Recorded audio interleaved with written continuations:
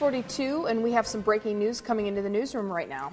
This was the scene just about an hour ago as fire crews and Des Moines police investigated two cars that were set on fire, they say, by fire bombs, or as they call them, Molotov cocktails. They found two of the homemade bombs unlit and left at the scene. It all happened at the Deer Ridge apartment complex at 6000 Creston. This is just west of Waterworks Park. No arrests have been made and nobody was hurt. We're going to continue to follow the story. You can look for updates later today on the news at noon and at kcci.com.